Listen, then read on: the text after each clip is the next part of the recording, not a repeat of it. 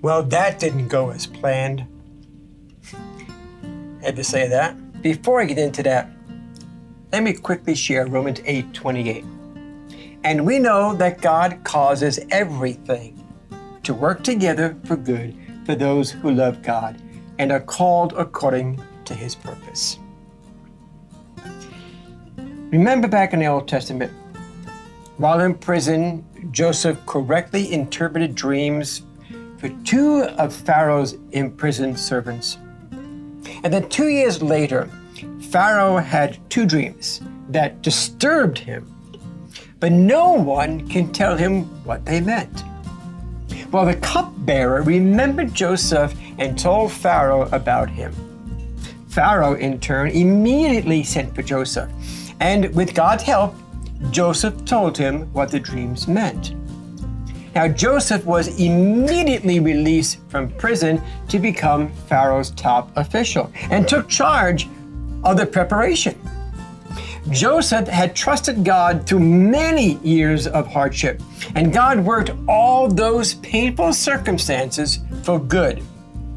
Good for Joseph personally, good for Jacob's family, good for his chosen people in the generations to come.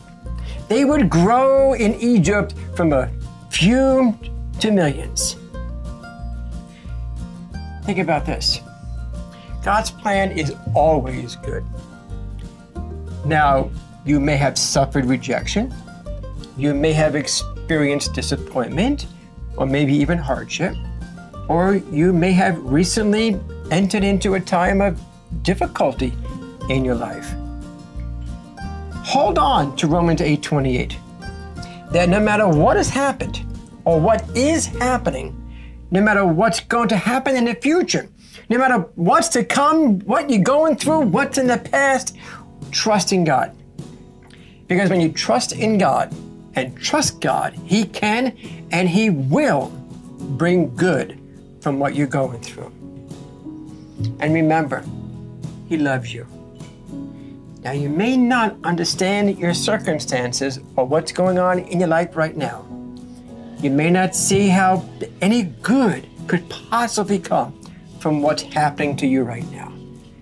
But like Joseph, if you would keep your eyes on God and trust Him, good will come.